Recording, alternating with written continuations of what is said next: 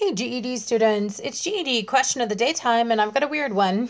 I said, which of the following is the best way to set up the expression 76 uh, plus, and now most of you guys read that as 0.55, but actually I would read that as 55 hundredths, in order to perform the addition algorithm.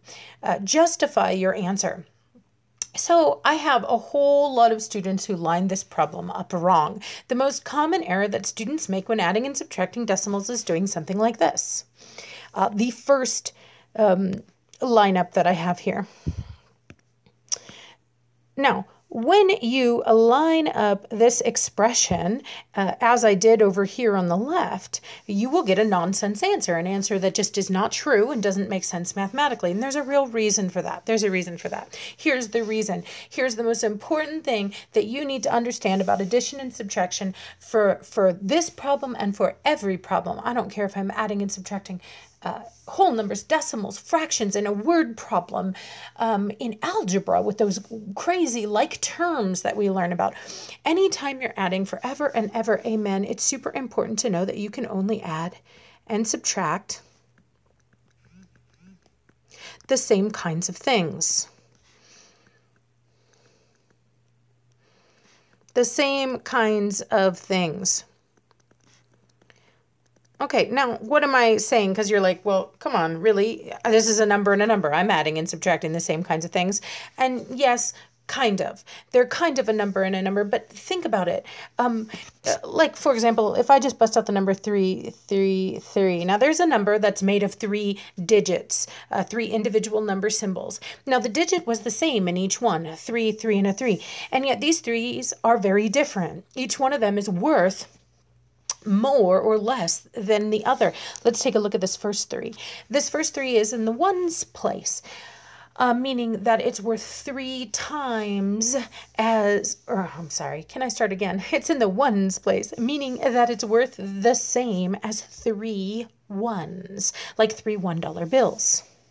Uh, this 3, on the other hand, is a much more valuable 3. How much more valuable? In fact, it's 10 times as valuable uh, because that 3 is in the tens place. It's worth 10 ones.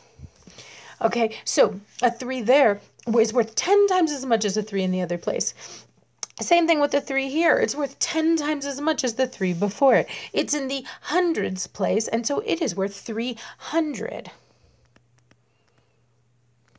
Okay, knowing that these threes, even though they look the same, are actually different types of things three ones, three tens, three hundreds allows us to see the proper way to line up this, and it's not like that on the right.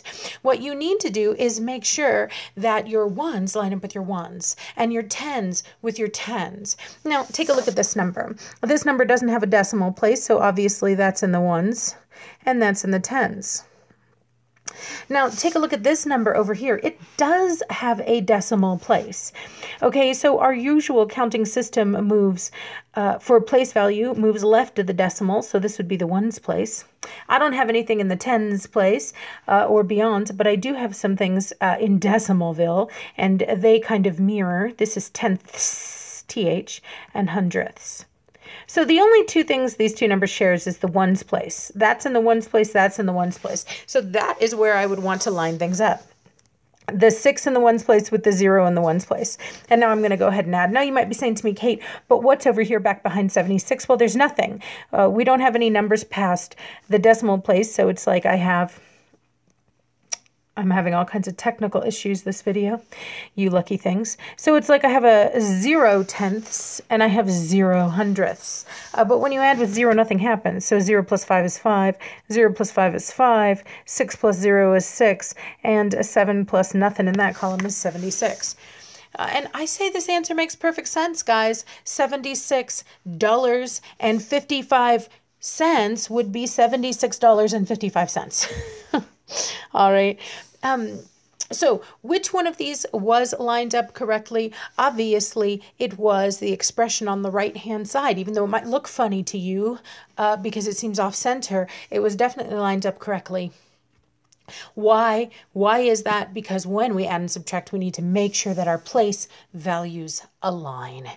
All right, if you have any questions about this or any other GED math topic, be sure to drop it in the comments and I'll do my very best to answer it.